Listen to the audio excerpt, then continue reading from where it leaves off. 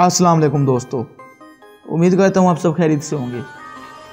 मैं आपके लिए लेके आया हूँ एक बार फिर नए स्टार्टअप्स दुनिया भर से इकट्ठे करके उनकी तफसीलात वो कैसे काम करते हैं, कहाँ से फंडिंग उठाई, वो किस मुल्क के हैं तो ये सब तफसीलात मैं आपको आज दूँगा। ताकि आप भी सीख सकें कि कैसे स्टार्टअप एक बनता है, आप उनको जाके स्टडी करें एनालाइज करें और फिर इसके मुताबिक ही अपना स्टार्टअप लेकर आएँ। तो बगैर इंतज़ार किए शुरू करते हैं हमारी आज की वीडियो तो हमारी जो आज की लिस्ट है, उसके अंदर जो पहला स्टार्टअप है, उसका उसका नाम है वेरी शॉप वेरी शॉप आपकी ज़िंदगी में रोज़मर्रा के जो फ़ैशन है, उसके लिए कंपनी है। अब इस तरह की कंपनियाँ तो और भी हैं, मगर वेरी शॉप और उनमें यही तो फ़र्क है। वेरी शॉप पर मुहैया की जाने वाली अशिया की क्वालिटी दूसरे ब्रांड्स से बहुत बेहतर है। ये ब्रांड्स सिर्फ़ आला क्वालिटी अशिया जो कि टॉप ब्रांड्स की होती हैं, उनको ही फीचर करता है।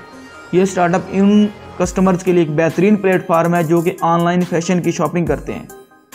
यह स्टार्टअप पिछले दो साल से काफ़ी कामयाबी से अमेरिकी रियासत कैलिफ़ोर्निया में काम कर रहा है और यह स्टार्टअप अब तक डी पार्टनर्स इन्वेस्टमेंट फर्म से 30 मिलियन डॉलर की फंडिंग भी उठा चुका है। देख, ये सोच रहे हैं कि अब हमने एक्सपेंड भी करना है, ये दूसरी अमेरिकन रियासतों में भी जा रहे हैं और ये यूरोप में भी जाने का प्लान बना रहे हैं। तो देखें कब तक ये यूरोप में पहुँचते हैं, ये तो अब वक्त ही बताएगा। तो हम चलते हैं अपने दूसरे स्टार्टअप की तरफ़। इसका नाम है इटीगो इटीगो का का दावा है कि ये एशिया में होटल रिजर्वेशन में पहले नंबर पर है। ये स्टार्टअप एडवाइज़र की मदद से ट्रिप एडवाइज़र की मदद से काम करता है और अब तक ये Thailand, India, Hong Kong, Malaysia, Philippine और सिंगापुर में ऑपरेशंस का आगाज़ कर चुका है, जहाँ पर यह खाना और होटल बुकिंग के लिए इस्तेमाल होता है। सबसे बड़ी खूबी इस स्टार्टअप की, जो इसको मुमताज़ करती है, वो इसके खाने की क्वालिटी और रिहाइश की बेहतर सहूलियात हैं। यूज़र्स किसी भी रेस्टोरेंट को सर्च करके ऑनलाइन बुकिंग करवा कर स्पेशल डिस्काउंट्स के साथ खाना इंजॉय कर सकते हैं। इसके अलावा इसके मेन्यू में रेस्टोरेंट्स की लोकेशन तस्वीरें रिव्यूज़ और उन रेस्टोरेंट्स के मेन्यूज़ भी मौजूद होते हैं।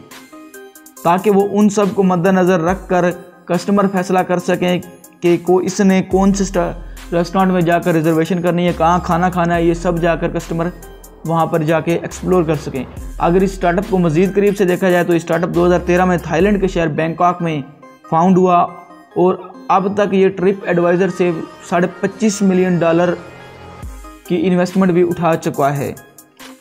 तो हमारी जो इस लिस्ट की जो आ, तो हमारा इस लिस्ट का जो अगला स्टार्टअप है उसका नाम है कोडेड माइंड्स कोडेड माइंड्स एक टेक्नोलॉजी बेस्ड एजुकेशनल स्टार्टअप है जिसका मकसद टेक एजुकेशन के सिस्टम को ही तब्दील करना है। यह स्टार्टअप तरीकाकार यानी मेथड पर काम करता है ये किसी भी प्रॉब्लम को उठाता है और फिर प्रैक्टिकल हैंडसम नतीजा या सलूशन लेकर आता है। स्टार्टअप ज़्यादातर असल ज़िंदगी में आने वाले मसाइल पर तवज्जो देता है और फिर टेक्नोलॉजी और इनोवेशन की मदद से इन मसाइल को हल करता है। ये मिडल ईस्ट शुमाली अफ्रीका एशिया पैसिफिक जनूबी एशिया और अमेरिका के तमाम शोबाए ज़िंदगी के अफराद और तालब इलमों को तालीम फराम कर रहा है। इनका यकीन है कि तालीम का कोई ना कोई मकसद होना चाहिए। यही वजह है कि ये बच्चों और जवानों को इस काबिल बनाता है कि वो क्रिएटिव कारोबारी और डिसरप्टिव जहन के मालिक अफराद बने। अगर इस स्टार्टअप को ज़रा गौर से देखा जाए तो पता चलता है कि ये स्टार्टअप पिछले चंद सालों से कामयाबी से काम कर रहा है। स्टार्टअप को ज़रा गौर से देखा जाए तो पता चलता है कि स्टार्टअप पिछले चंद सालों से कामयाबी से काम कर रहा है। और अभी तक ये 10 मिलियन यू धर्म की फंडिंग अल अरेबी इन्वेस्टमेंट नामी यू की फर्म से उठा चुका है। तो हमारी जो इस लिस्ट का जो अगला स्टार्टअप है और आखिरी स्टार्टअप है, वो है दोस्तों स्प्रिंग बोर्ड स्प्रिंग बोर्ड अपने इस्तेमाल करने वालों को डिमांड वाली जॉब स्किल्स मुहैया करता है, ताकि वो इनको सीख कर प्रोफेशनल कैरियर में आगे बढ़ सकें। चूँकि चूँकि ये कोर्सेज ऑनलाइन होते हैं तो कोई भी दुनिया के किसी भी हिस्से से उन, इनसे फ़ायदा उठा सकता है। Springboard data science design analytics marketing और सिक्योरिटी पर मुख्तलिफ़ अकसाम के कोर्सेज ऑफ़र करता है। कंपनी का मोटो है कि एजुकेशन को एक नई अप्रोच दी जाए। कंपनी का कहना है कि तालीम एक दफ़ा की जाने वाली इन्वेस्टमेंट नहीं है, बल्कि ये सारी ज़िंदगी जारी रहती है। आपको थोड़ी थोड़ी इन्वेस्टमेंट करते रहने चाहिए ताकि आपको हाई रिजल्ट्स मिलते रहें। और कंपनी का मकसद है कि तालब इलमों की मदद की जाए कि वो अपनी अपनी इंडस्ट्री में आगे बढ़ सकें। अगर इस स्टार्टअप को करीब से देखा जाए तो इसने अभी तक रीच कैपिटल के नामी फर्म से बाईस इशारे दो अमरीकी डॉलर की फंडिंग भी उठा ली है। और ये पिछले चंद सालों से कैलिफ़ोर्निया अमेरिका में काम कर रहा है। और अब ये अमेरिका की दूसरी रियासतों, मिडल ईस्ट में ज़्यादा फोकस कर रहा है कि हम वहाँ पर जाके एक्सपेंड कर सकें। तो दोस्तों, ये थी हमारी आज की वीडियो। उम्मीद करता हूँ आपको हमारी वीडियो अच्छी लगी होगी। अगर अच्छी लगी हो तो वीडियो को लाइक करें, चैनल को सब्सक्राइब करें।